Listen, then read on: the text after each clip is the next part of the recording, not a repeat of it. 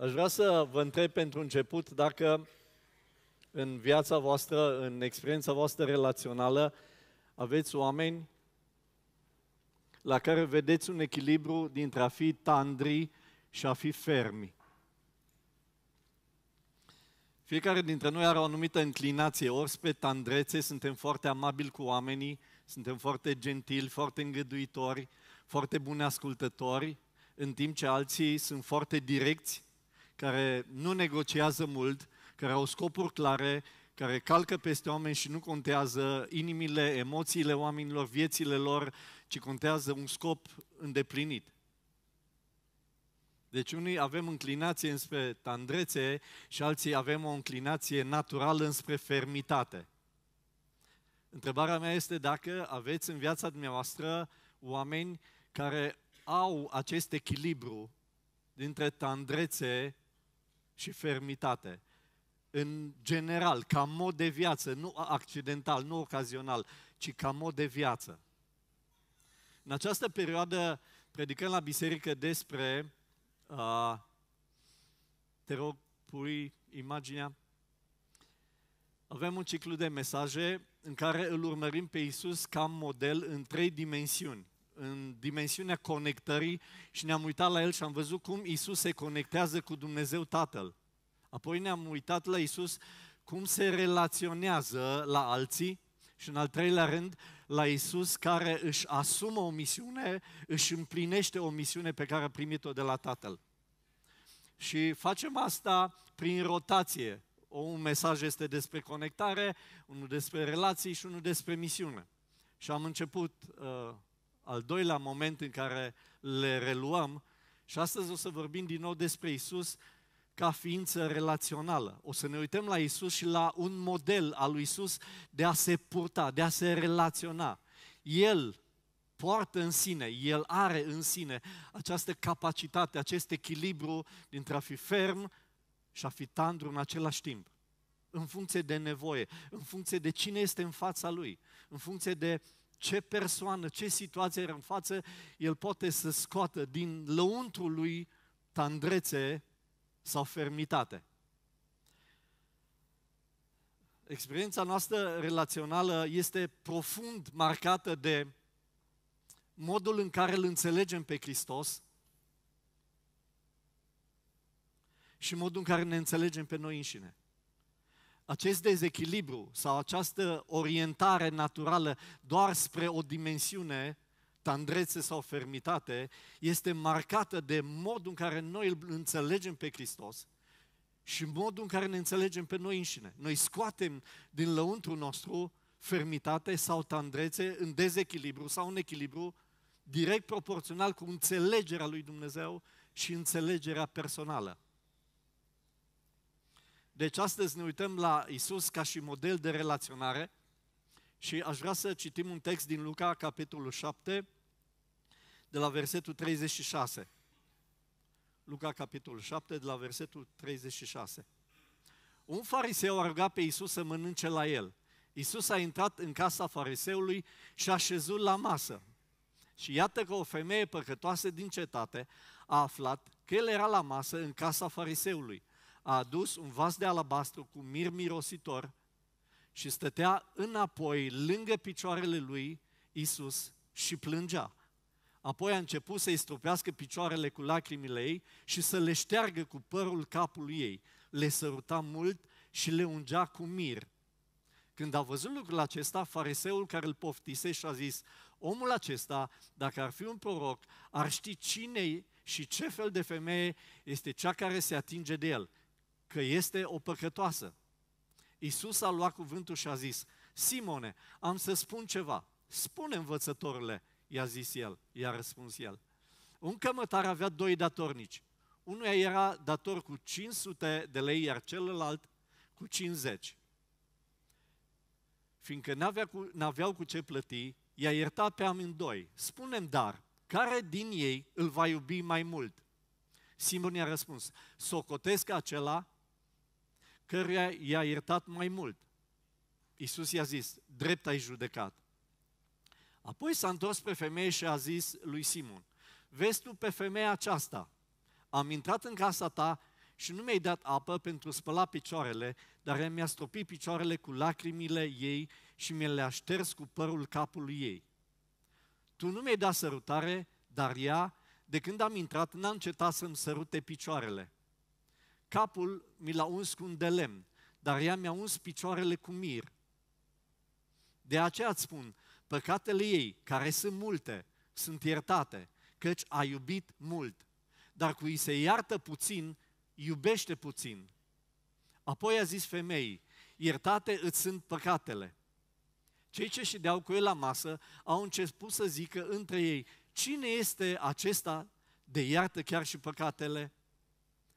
Dar Isus a zis femeii, credința ta te-a mântuit, du-te în pace. Amin. Așa după cum am spus și în uh, mesajele anterioare, ar trebui să înțelegem foarte profund acea catastrofă care s-a întâmplat în Genesa 3 când Adam și Eva au mâncat din pomul cunoștinței binelui și răului. Până atunci, omul exista în aceste trei dimensiuni, conectare, relaționare și misiune și avea pace cu sine și avea pace cu Dumnezeu. Era într-o armonie perfectă și cu Dumnezeu, și cu sine, și cu femeia, și cu misiunea pe care o are îndeplinit. Și că acolo, în Genesa 3, s-a frânt această armonie, s-a zdrobit această armonie, s-a rupt această legătură.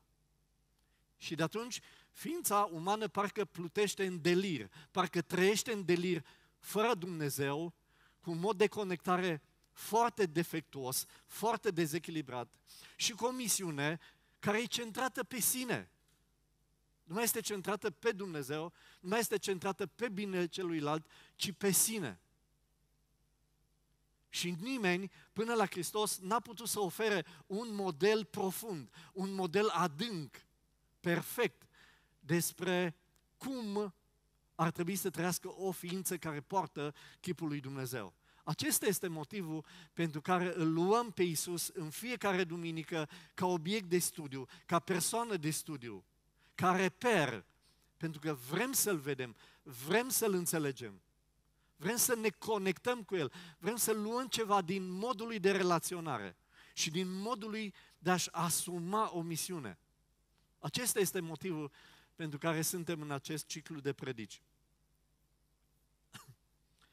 Haideți să setăm cadrul acestui uh, text ca să ne fie mai ușor să înțelegem modul de relaționare al lui Isus. Isus primește o, o invitație de la un fariseu să vină la el la masă.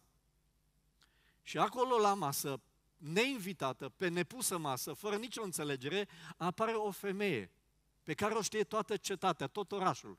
Este o femeie păcătoasă, spune Luca în Evanghelia lui. Păcătoasă este nu doar pentru că este ușor bârfitoare. Nu este păcătoasă pentru că se îmbracă la limita decenței. Nu este păcătoasă doar pentru că uneori își uită copilul la grădiniță sau arde mâncarea pentru familie sau pentru că nu se roagă suficient. Ea este păcătoasă pentru că are relații intime cu mulți bărbați din orașul ei pentru bani, pentru servicii, pentru satisfacție, nu știm pentru ce. Dar este o femeie de tipul ăsta, cu acest uh, uh, nivel de spiritualitate, care din asta trăiește. Prin asta este recunoscută în oraș. Și femeia asta apare la întâlnire, unde Isus este invitat la masă.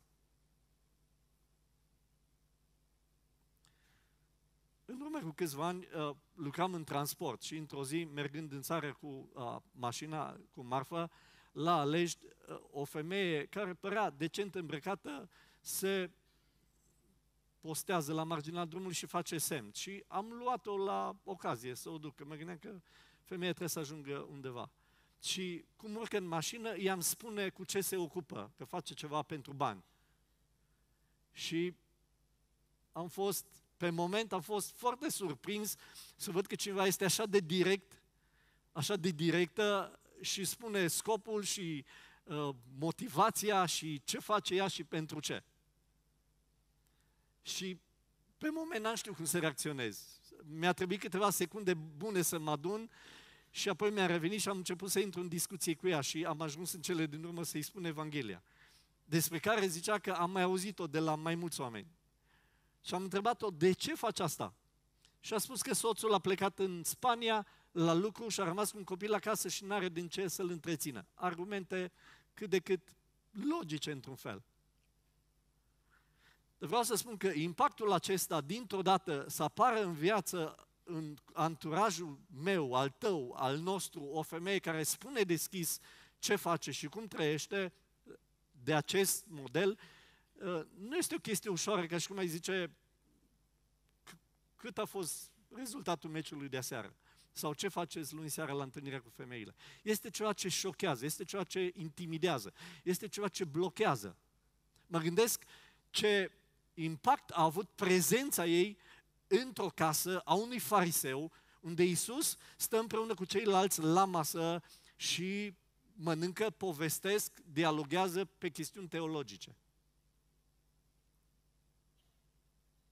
Ce este interesant că în fiecare evanghelie, dragii mei, și în Matei, și Marcu, și Luca, și Ioan, există o femeie care vine în prezența lui Isus, care îi spală picioarele, care aduce o ofertă, o, o, o ofrandă, o, o, ceva sacrificiu pentru el, recunoscându-i divinitatea, recunoscându-i supremația, recunoscându-i identitatea. Fiecare evanghelist are o femeie și niciuna nu se suprapune cu cealaltă. Aș vrea să ne uităm puțin la trei aspecte pozitive ale acestei femei. În primul rând, caută să-L întâlnească pe Hristos. Ea caută, deși are o meserie uh, josnică, deși este o femeie cu reputație foarte rea, foarte urâtă în oraș, ea vrea să-L întâlnească pe Hristos. Ea a auzit despre Hristos. Ea dorește și nu se lasă intimidată de faptul că acolo este o întâlnire a bărbaților, acolo este o întâlnire teologică, acolo este o întâlnire în care ea n-are ce căuta. Nu contează. Ea se duce. Ea știe că acolo este Hristos și se duce. Probabil l-a văzut, probabil l-a auzit, nu știm cum, dar ea vine și intră înăuntru. Ea știe că va fi judecată de oameni. Ea știe că va fi condamnată lumea va spune, prostituată orașul, ce cauți aici? Ieși afară. Sau poate chiar Iisus va spune, știi, am, am o discuție teologică foarte importantă, nu mă caut acum. Ea nu se lasă intimidată de nicio preconcepție, de nicio limită, de niciun obstacol. Ea se duce acolo unde știe că este Hristos.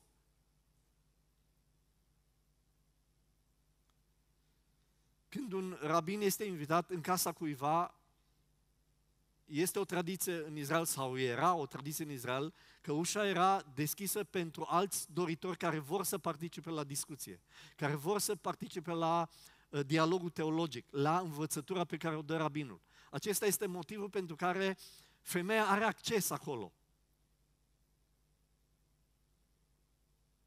Ea are o portiță mică, are o posibilitate pe care o folosește la maxim. Dacă Isus este acolo, nu mă interesează ce vor spune oamenii. Dacă Isus este acolo, El este speranța mea.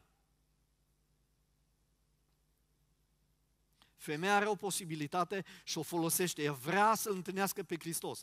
În al doilea rând, se vulnerabilizează. Ea nu doar ascultă discuția, ea nu vine doar să asculte, ea se vulnerabilizează.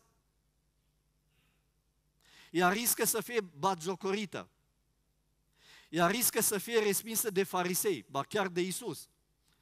Mă gândesc la fariseul care face invitația lui Isus, proprietarul casei. Cât de încântat a fost să vadă prostituata orașului în casa lui, în contextul de oameni religioși care sunt acolo. N-a fost încântat, dragii mei. Sigur n-a fost încântat. Dar pentru femei nu contează. Ea vine acolo și se vulnerabilizează. Adică se așează în spatele lui Isus. Apoi ce mai face? Spală picioarele lui Isus cu, cu lacrimile ei. Asta înseamnă că ea plânge. Ea plânge într-un asemenea mod, la un asemenea nivel încât uh, lacrimile sunt uh, coerente, încât reușește cu lacrimile ei, din plânsul ei, să spele picioarele lui Isus. Ea se vulnerabilizează prin faptul că îi șterge picioarele lui Isus cu părul capului ei femeia în Israel își desface părul doar în situație de doliu, când ceva profund o afectează, când ea suferă pierderea cuiva drag. Ea își desface părul capului ei, podoaba ei, feminitatea ei este în părul ei și șterge picioarele lui Isus. Îi sărută picioarele mult. Verbul aici, în limba greacă, este catepilei, la timpul imperfect, sugerând o acțiune trecută continuă. Adică nu îi sărută picioarele și apoi se ridică, ci a rămâne plecat acolo și îi sărută în continuare picioarele lui Isus. Ea își manifestă, își arată vulnerabilitatea ei, inclusiv sărutând picioarele lui Isus în mod continuu.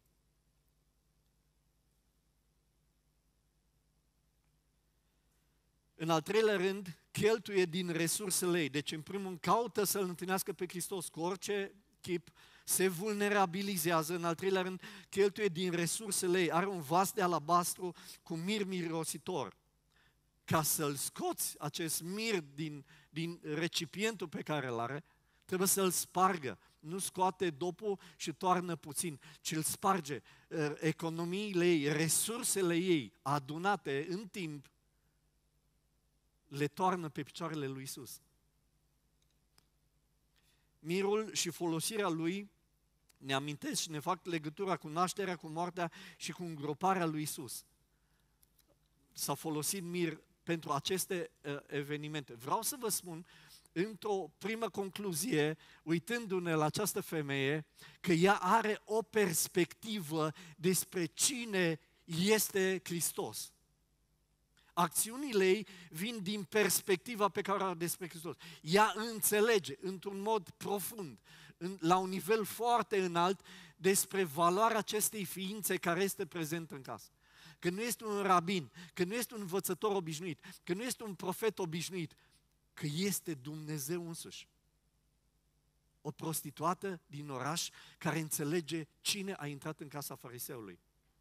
Vreau să ne uităm puțin la să-l analizăm așa în trecere, pentru că focalizarea este pe relaționare și nu pe personaje, dar avem nevoie de cadru. Aș vrea să ne uităm puțin la Simon Fariseul. Este un om educat în religia iudaică.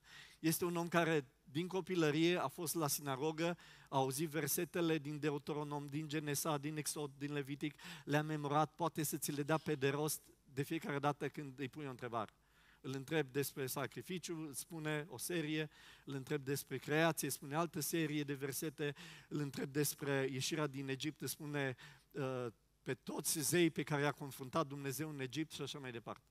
Și omul ăsta îl invită pe Isus în casa lui. Care este scopul invitației? Ce ziceți dumneavoastră? Care este scopul invitației? Nu este specificat în mod uh, intenționat, și în mod direct în acest text. Dar știm, din contextul Noului Testament, și aș vrea să ne uităm la câteva uh, referințe, uh, Luca 11 cu 54, am vrea să vedem cam motivul pentru care fariseii îl invitau sau pentru ce erau prezenți la întâlnirile în care venea și Isus. Luca 11 cu 54, i-au întins astfel lațuri ca să prindă vreo vorbă din gura lui pentru care să-l poată învinui. Ăsta e motivul pentru care Isus a fost invitat într-un anumit context. Ca să prindă vreo erezie, să prindă vreo vorbă nepotrivită, să prindă vreo lipsă de concordanță între versete, între idei, între ceva, ca să aibă motiv să-l acuze. Mergem la uh, 11 cu 53 și 54. A, asta era, am citit. Ba nu. A, era bine și 53, cred că ți-am dat numai 54, da? 14 cu 1, te rog. Într-o zi de sabat, Iisus a intrat în casa unuia din fruntașii fariseilor ca să prânzească. Fariseii, ce făceau fariseii? Erau cu caietele deschise să ia notițe. Erau cu inima deschisă, abia așteptăm să-L auzim pe învățătorul vorbind. Farisei îl pândeau de aproape. Erau acolo ca să pândească, ca să prindă vreo neconcordanță.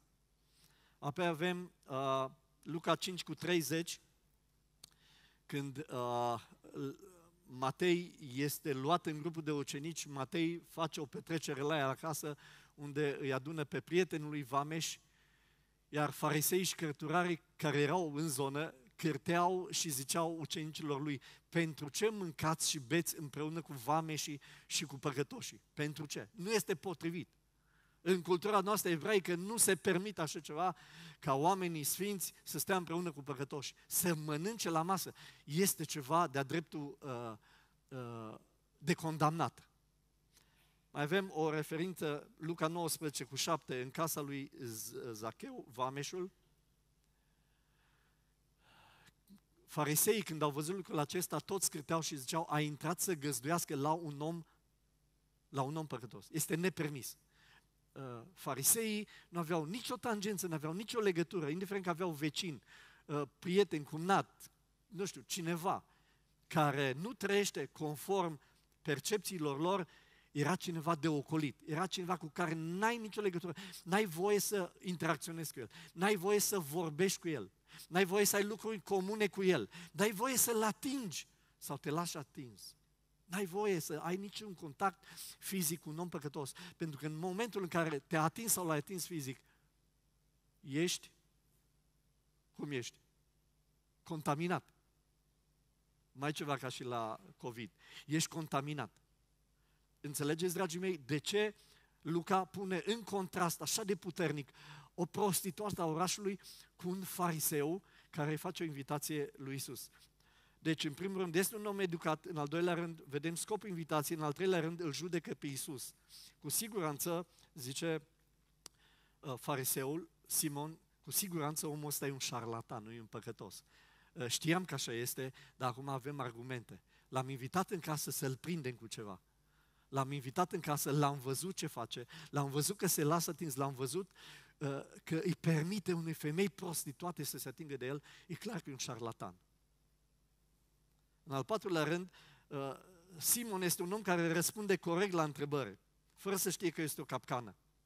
Răspunde corect. Are întrebări la nivel de minte, știe să răspundă la întrebări logice, dar la nivel de inimă este închis, este împietrit. El caută acuzații. El nu beneficiază de privilegiu că acolo este Fiul lui Dumnezeu, revelația specială a lui Dumnezeu, cea mai influentă, cea mai curată ființă care a călcat vreodată pe planeta asta este în casa lui. Pentru el nu contează. Este chiar în casa lui. Nu contează. Și acum aș vrea să ne uităm la Isus. Isus merge într-un mediu unde știe că va fi judecat. Știe că îi se caută vină.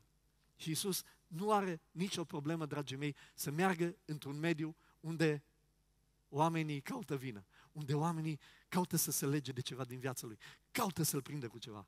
Nu are nicio problemă. În al doilea rând, Isus este foarte natural, este foarte lejer și nederajat de prezența, de atingerea sau de reputația femeii.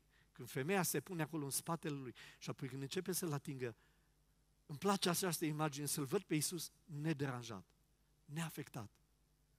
Nici de păcătoșenie ei, nici de reputație ei, nici de faptul că o femeie îl atinge, nici de faptul că o femeie uh, prostituată îl atinge, el are în sine această comoară, această valoare, această demnitate, această conștiință despre cine este El. Și această convingere și această identitate îi permite să stea în prezența unei prostituate și chiar să se lase atins de ea.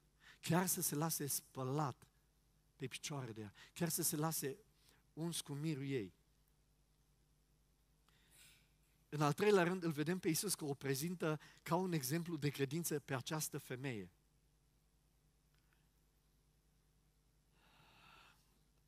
Îmi place, când mă gândesc la Isus, la modul în care se relaționează, îmi place să-L văd cu această tărie, cu această demnitate lăuntrică, cu această conștiință de sine că El este Sfânt, că El este Fiul lui Dumnezeu, că El este Dumnezeu însuși, întrupat într-un corp uman și El vine să întâlnească nevoile oamenilor. Și El stă acolo și poate să relaționeze cu prostituata orașului fără să se simtă deranjat, fără să se simtă inhibat, fără să simtă compromis, fără să simtă să se simtă vulnerabil că va fi contaminat.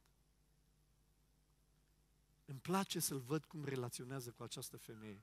Îmi place să văd deschiderea lui, îmi place să văd finețea lui, îmi place să văd uh, gingășia lui, îmi place să văd tandrețea cu care tratează o prostituată.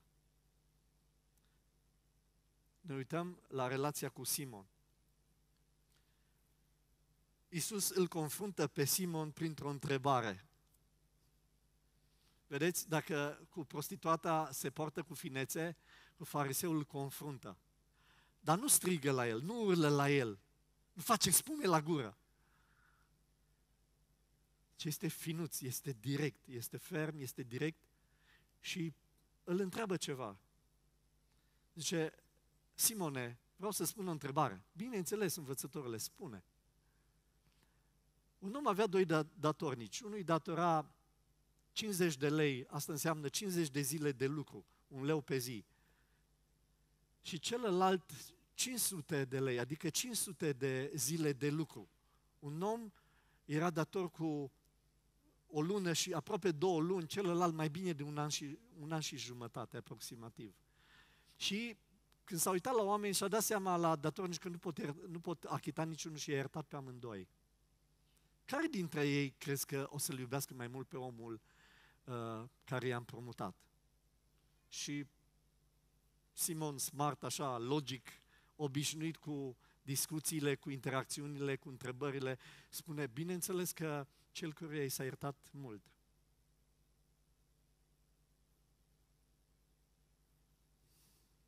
îl atrage într-o capcană, îl atrage într-o discuție, îl confruntă printr-o întrebare, îl confruntă printr-o ilustrație, printr-o poveste, ca el să înțeleagă ceva despre sine.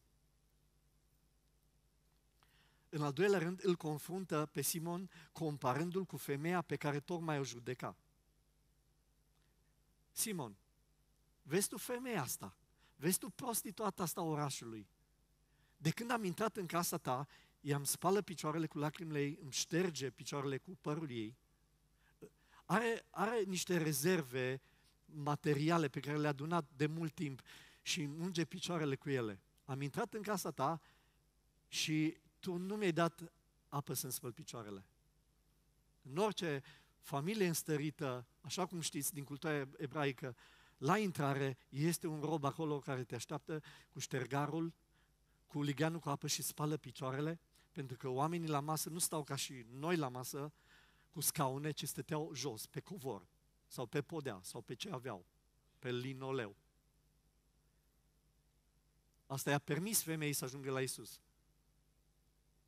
Simone, înțelegi că femeia asta cum mă tratează, ce perspectivă are ea despre mine? Eu am intrat în casa ta, ești un om religios, ești un om înstărit, și nu m-am simțit primit ca un musafir de cinste, pentru că nici măcar n-ai pus pe cineva să-mi spele picioarele. Și femeia asta îmi spală cu lacrimile ei, nu cu apa din rezervor, nu cu apa adunată de la ploaie, ci cu lacrimile ei. Simone, înțelegi tu că femeia asta își pune uh, podoaba feminității ei în joc, părul ei îmi șterge picioarele și tu n-ai făcut asta. Femeia asta îmi sărută picioarele și de când a intrat și nu se mai oprește.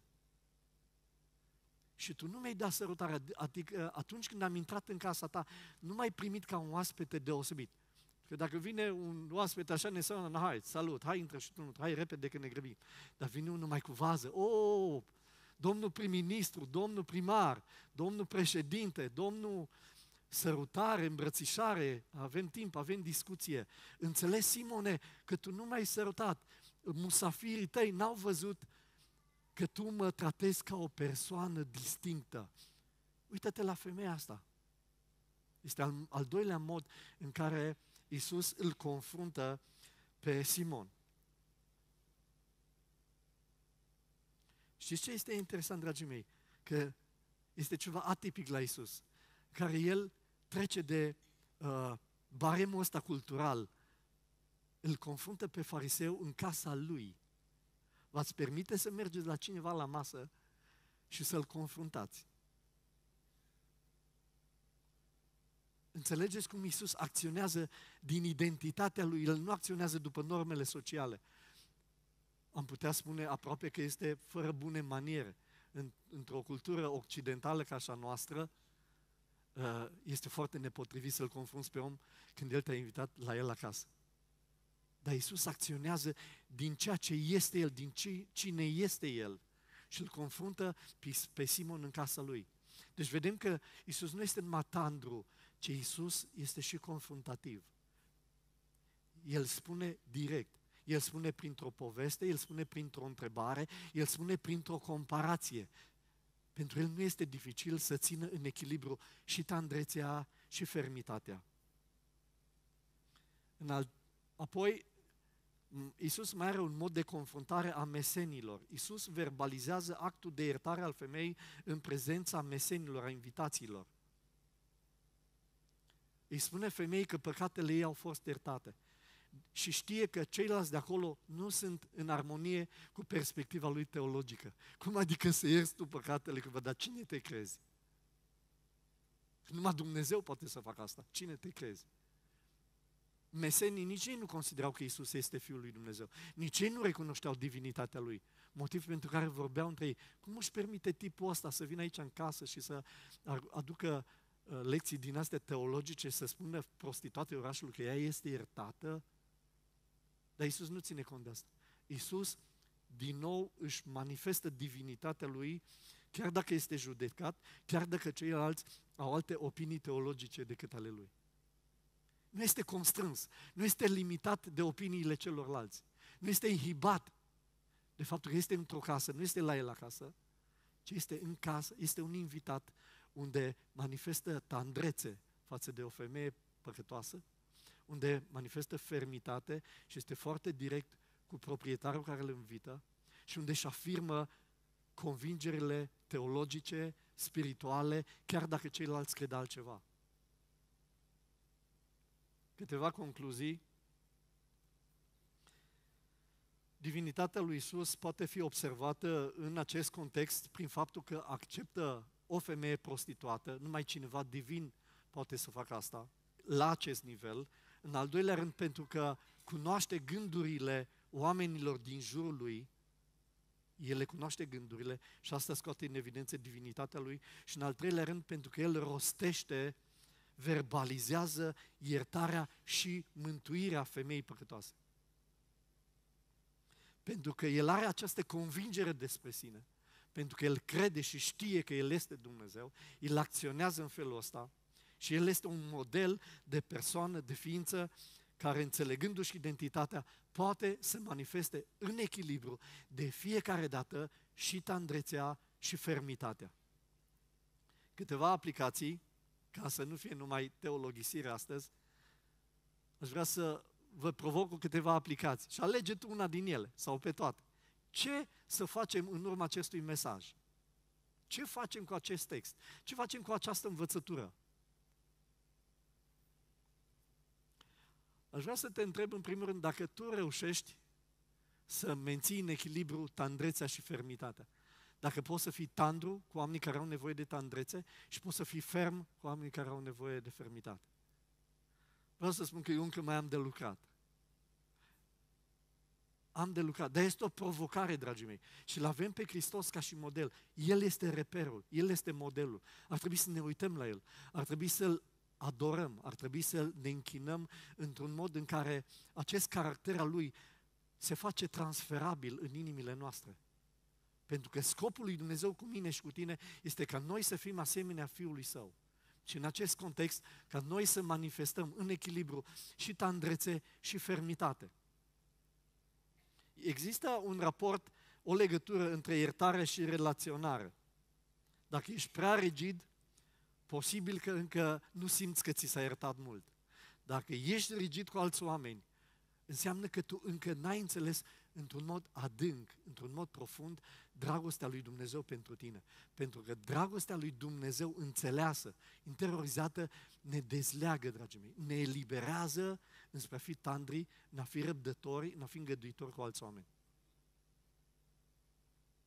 Dacă ești prea rigid, dacă ești prea dur, dacă tu știi numai să spui verde în față cuiva, dacă tu știi numai să ataci pe cineva, s-ar putea să, să nu fi înțeles încă dragostea profundă a lui Dumnezeu.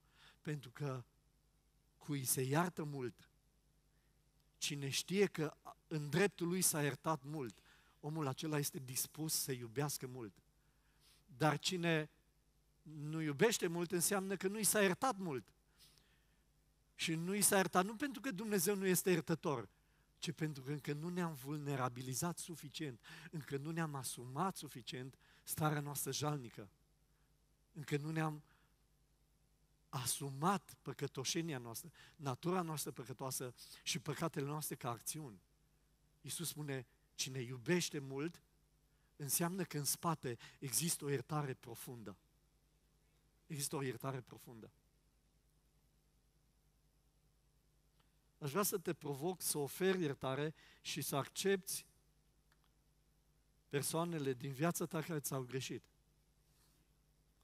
Dacă simți că ți-e dificil să ierți, întreabă-te cât de mult a iertat Dumnezeu în viața ta.